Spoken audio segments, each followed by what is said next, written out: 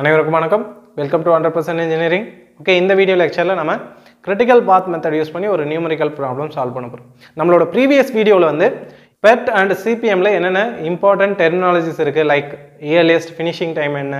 Earliest starting time என்ன? Latest finishing time latest starting time floats critical பாத்னா என்ன? Critical ஆக்டிவிட்டினா என்ன? இதெல்லாம் பார்த்தோம். ஓகே ஸோ இதெல்லாம் வந்து uh, டெஃபினேஷன்ஸாக பார்த்தோம். அது ப்ராப்ளமில் எப்படி ரிலேட் பண்ணுறது அப்படிங்கிறத தான் இந்த வீடியோவில் நம்ம பார்க்க போகிறோம் ஓகே ஸோ ஒரு ப்ராப்ளம் கொடுத்துருக்காங்க. ஆக்டிவிட்டி என்ன? அதுக்கான டியூரேஷன் என்ன? அப்படின்னு கொடுத்துருக்காங்க. ஸோ இதை பேஸ் பண்ணி நான் என்ன பண்ணியிருக்கேன்? நெட்ஒர்க் ட்ரா பண்ணியிருக்கேன். ஸோ நெட்ஒர்க் ட்ரா பண்ணுறதுக்கான ரூல் நான் ஆல்ரெடி சொல்லியிருக்கேன். ஃபுல்கர்சன்ஸ் ரூல் யூஸ் பண்ணி எப்படி ட்ரா பண்ணணும் அப்படின்னு சொல்லிட்டு. ஸோ அந்த ரூலை யூஸ் பண்ணி நான் நெட்ஒர்க் ட்ரா பண்ணியிருக்கேன். ஸோ ஒவ்வொரு ஆக்டிவிட்டிக்கும் நான் நேம் பண்ணியிருக்கேன்.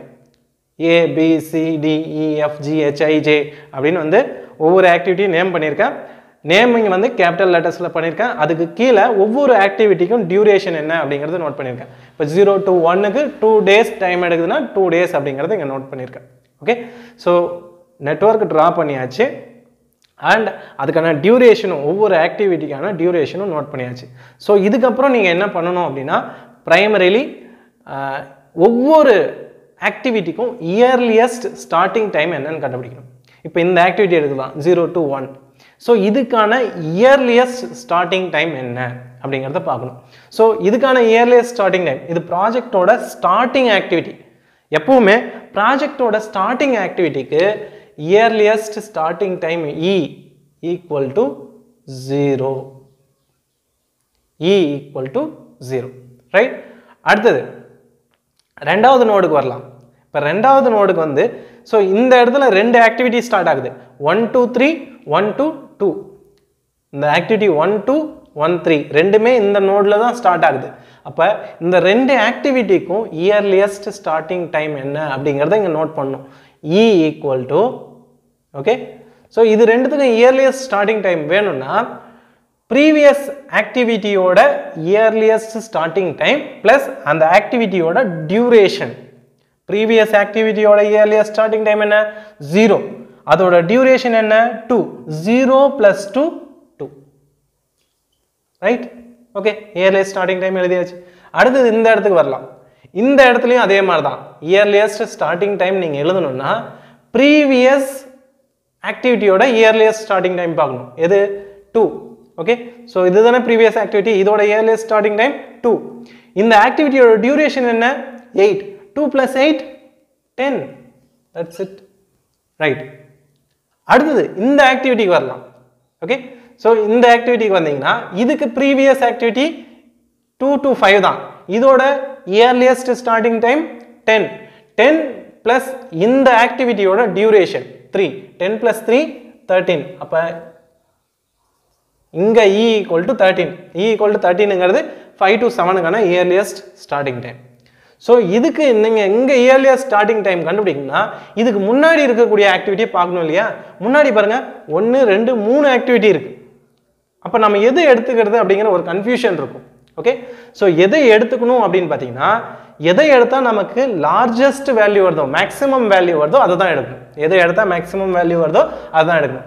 ஸோ இதுக்கு இயர்லியஸ்ட் ஸ்டார்டிங் டைம் தெரியும். இதை எடுத்து கால்குலேட் பண்ணலாம். ஆனால் இதுக்கு இயர்லியர் ஸ்டார்டிங் டைம் தெரியாது. இதுக்கு இயர்லியர் ஸ்டார்டிங் டைம் நமக்கு தெரியாது. ஃபர்ஸ்ட் அப்போ இதுக்கு இதுக்கெல்லாம் வந்து இயர்லியர் ஸ்டார்டிங் டைமை கண்டுபிடிக்கலாம். ஓகே ஸோ அதுக்கு ஃபஸ்ட்டு நம்ம இங்கே கண்டுபிடிக்கணும். இதுக்கு கண்டுபிடிச்சாதான் இதுக்கு கண்டுபிடிக்க முடியும். இல்லையா? ஸோ ஃபஸ்ட்டு இதுக்கு கண்டுபிடிக்கலாம்.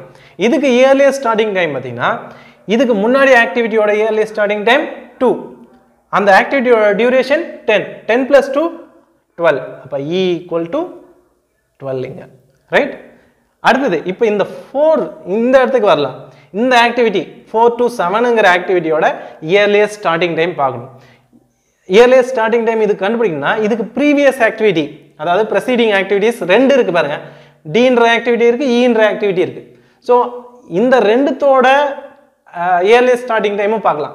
இதோட early starting time ten ten plus six போட்டிங்கன்னா சிக்ஸ்டீன் கிடைக்குது. அதுவே இங்கே பார்த்தீங்கன்னா டுவெல் டுவெல் ப்ளஸ் த்ரீ போட்டிங்கன்னா ஃபிஃப்டீன் கிடைக்குது. எது மேக்ஸிமம் வேல்யூ சிக்ஸ்டீன் தான் மேக்ஸிமம் வேல்யூ அப்போ இதுக்கு இயர்லியஸ்ட் ஸ்டார்டிங் டைம் வந்து சிக்ஸ்டீன் இது எதை மீன் பண்ணுதுன்னா நீங்கள் இப்படி வந்தீங்கன்னா த்ரீ த்ரீ டு ஃபோருங்கிற ஆக்டிவிட்டி இ ஆக்டிவிட்டி வந்து ஃபிஃப்டீன் டேஸில் கம்ப்ளீட் ஆகிடும் ஆனால் ஜி ஆக்டிவிட்டியை நம்ம ஸ்டார்ட் பண்ணணும்னா டி ஆக்டிவிட்டியும் முடிஞ்சிருக்கணும் e இ ஆக்டிவிட்டியும் முடிஞ்சிருக்கணும். டி ஆக்டிவிட்டி சிக்ஸ்டீன் டேஸில் தான் முடியுது. இ ஆக்டிவிட்டி ஃபிஃப்டீன் டேஸ்லேயே முடிஞ்சிருது. இது ஃபிஃப்டீன் டேஸில் முடியறதுக்காக ஃபிஃப்டீன்த் டேயில் நம்ம இதை ஸ்டார்ட் பண்ண முடியாது. ஓகே சிக்ஸ்டீன்த் டே இது அதாவது டி ஆக்டிவிட்டியும் முடிஞ்சால் தான் நம்ம ஜியை ஸ்டார்ட் பண்ண முடியும். அதை தான் இங்கே இயர்லியஸ்ட் ஸ்டார்டிங் அதை தான் இங்கே இயர்லியஸ்ட் ஸ்டார்டிங் டைம் மீன் பண்ணுது. ஓகே அப்போ இ e வந்து ஏன் மேக்ஸிமம் வேல்யூ எடுக்கிறோன்றத அண்டர்ஸ்டாண்ட் பண்ணிக்கோங்க. ரைட் ஸோ இதுக்கு இயர்லியர் ஸ்டார்டிங் டைம் சிக்ஸ்டீன் பார்த்தாச்சு. இப்போ இந்த இடத்துக்கு வரலாம்.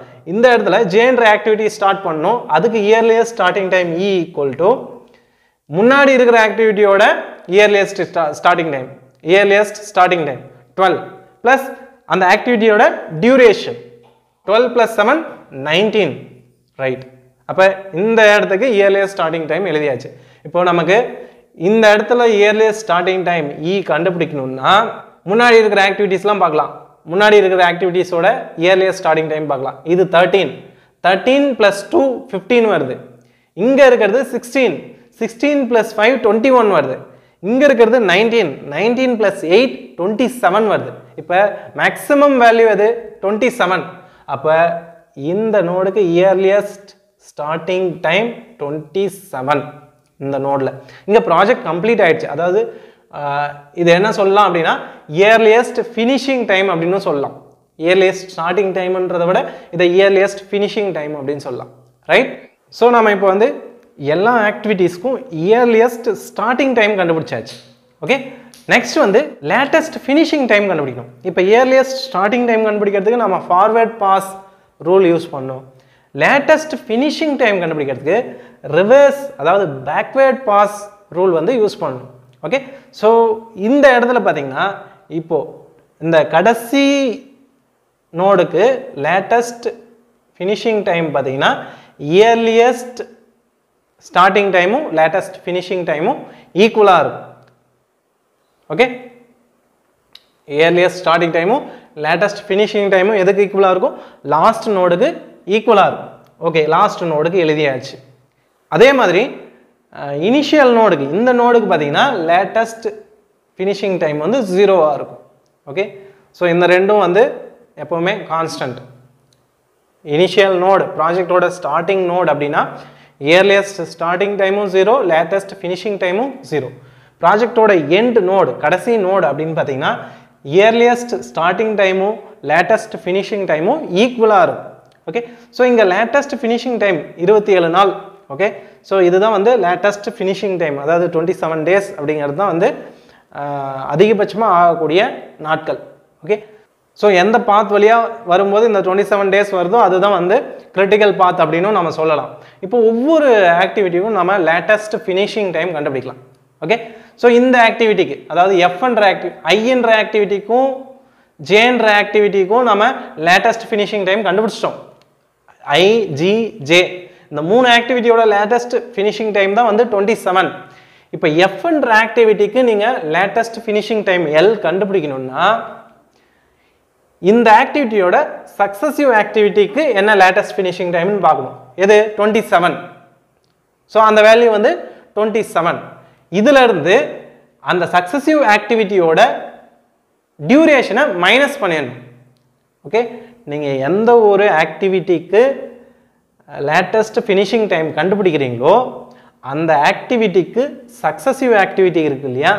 அதோட லேட்டஸ்ட் ஃபினிஷிங் டைம்லேருந்து அந்த சக்ஸசிவ் ஆக்டிவிட்டியோட டியூரேஷனை மைனஸ் பண்ணிட்டீங்கன்னா உங்களுக்கு இந்த ஆக்டிவிட்டிக்கு லேட்டஸ்ட் ஃபினிஷிங் டைம் கிடைக்கும். அப்போ டுவெண்ட்டி செவன் மைனஸ் டூ இங்கே டுவெண்ட்டி ஃபைவ் ரைட் ஓகே இப்போ இந்த ஆக்டிவிட்டி ஹெச் என்ற ஆக்டிவிட்டிக்கு லேட்டஸ்ட் ஃபினிஷிங் டைம் நீங்கள் கண்டுபிடிக்கணும்னா ஜே என்ற ஆக்டிவிட்டியோட லேட்டஸ்ட் ஃபினிஷிங் டைம் அதோட duration okay twenty seven minus eight அப்போ L equal to nineteen right அடுத்தது இங்கே வரலாமே. ஓகே இங்கே பார்த்தீங்கன்னா இதோட சக்ஸசிவ் ஆக்டிவிட்டீஸ்னு ரெண்டு இருக்குது ஓகே அப்போ இங்கேருந்தும் கால்குலேட் பண்ணணும் இங்கேருந்தும் கால்குலேட் பண்ணணும். இந்த ரெண்டுத்தில் எது மினிமம் வேல்யூ வருதோ எது மினிமம் வேல்யூ வருதோ அதை தான் லேட்டஸ்ட் ஃபினிஷிங் டைமாக எடுக்கும். ஓகே ஸோ இதோட லேட்டஸ்ட் ஃபினிஷிங் டைம் நமக்கு தெரியாது. ஃபர்ஸ்ட் இதுக்கு கால்குலேட் பண்ணலாம். இதுக்கு கால்குலேட் பண்ணணும்னா ஜியோட latest finishing time twenty seven ஜியோட duration five twenty seven minus five போட்டிங்கன்னா எவ்வளோ வருது? E sorry L equal to twenty two அப்போது இந்த ஆக்டிவிட்டிக்கும் டி ஆக்டிவிட்டிக்கும் இ ஆக்டிவிட்டிக்கும் லேட்டஸ்ட் ஃபினிஷிங் டைம் எவ்வளோ? டுவெண்ட்டி டூ ஓகே ஸோ இப்போ இந்த ஆக்டிவிட்டிக்கு வரலாம். அதாவது C ஆக்டிவிட்டிக்கு latest finishing time L equal to சின்ற ஆக்டிவிட்டிக்கு latest finishing time L equal to இந்த ஆக்டிவிட்டியோட latest finishing time twenty two twenty two minus three போட்டிங்கன்னா எவ்வளோ வருது? நைன்டீன் வருது. அதே இங்கே பார்த்தீங்கன்னா நைன்டீன் மைனஸ் செவன் போட்டிங்கன்னா எவ்வளோ வருது? டுவெல் வருது. எது லீஸ்ட் வேல்யூ நைன்டீனா டுவெல்லா டுவெல் தான் லீஸ்ட் வேல்யூ அப்போ இதுக்கு லேட்டஸ்ட் ஃபினிஷிங் டைம் இந்த ஆக்டிவிட்டிக்கு லேட்டஸ்ட் ஃபினிஷிங் டைம் அப்படின்னு பார்த்தீங்கன்னா L equal to twelve okay so இதுக்கு கால்குலேட் பண்ணியாச்சு. இப்போ இந்த இந்த இந்த இடத்துக்கு வரலாம். இதுக்கு பார்த்தீங்கன்னா ரெண்டு சக்ஸஸர் ஆக்டிவிட்டீஸ் இருக்கு. அப்போது first twenty five minus three போட்டிங்கன்னா டுவெண்ட்டி டூ கிடைக்குது. அடுத்தது டுவெண்ட்டி டூ மைனஸ் சிக்ஸ் போட்டிங்கன்னா சிக்ஸ்டீன் கிடைக்குது. ஓகே சிக்ஸ்டீன் தான் லீஸ்ட் வேல்யூ அப்போ பீன்ற ஆக்டிவிட்டிக்கு லேட்டஸ்ட் ஃபினிஷிங் டைம் வந்து சிக்ஸ்டீன் ரைட் இப்போ ஏன்ற ஆக்டிவிட்டிக்கு லேட்டஸ்ட் ஃபினிஷிங் டைம் நாங்கள் கண்டுபிடிக்கணும். ஏன்ற ஆக்டிவிட்டிக்கு லேட்டஸ்ட் ஃபினிஷிங் டைம் வந்தீங்கன்னா ரெண்டு சக்ஸஸர் ஆக்டிவிட்டீஸ் இருக்குது இந்த ஆக்டிவிட்டியை வச்சு கண்டுபிடிச்சிட்டிங்கன்னா சிக்ஸ்டீன் மைனஸ் எயிட் எயிட் இதை வச்சு கண்டுபிடிச்சிங்கன்னா டுவெல் மைனஸ் டென் டூ எது லீஸ்ட் வேல்யூ டூ தான் லீஸ்ட் வேல்யூ அப்போ டூ இங்கே போட்டாச்சு. ரைட் ஸோ ஒவ்வொரு ஆக்டிவிட்டிக்கும் நாம் இயர்லியஸ்ட் ஸ்டார்டிங் டைம் என்ன லேட்டஸ்ட் ஃபினிஷிங் டைம் என்ன அப்படிங்கிறது கண்டுபிடிச்சாச்சு.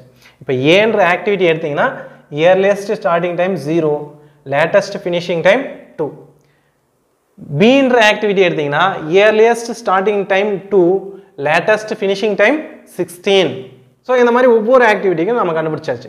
ஸோ இதை எழுதிட்டிங்கன்னா நீங்கள் அடுத்தது கிரிட்டிக்கல் பாத் வந்து கண்டுபிடிச்சிடலாம். ஸோ கிரிட்டிக்கல் பாத் எப்படி கண்டுபிடிக்கிறது? கிரிட்டிக்கல் பாத் பொறுத்த வரைக்கும் லாங்கஸ்ட் பாத் தான் கிரிட்டிக்கல் பாத் அப்படின்னு சொல்லியிருக்கோம்.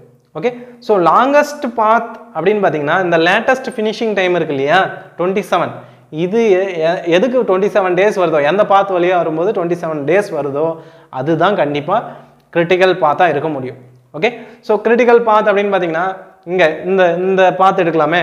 Two ten twelve nineteen eight twenty seven அப்போ இந்த பாத்து தான் வந்து கிரிட்டிக்கல் பாத் அப்படிங்கிறது ரொம்ப தெளிவாகவே தெரியுது நமக்கு. ஓகே ஸோ அப்படி இல்லைன்னா உங்களுக்கு டவுட் இருந்துச்சுன்னா என்ன பண்ணலாம் அப்படின்னா மொத்தம் எத்தனை பாத்து இருக்குன்னு பாருங்க.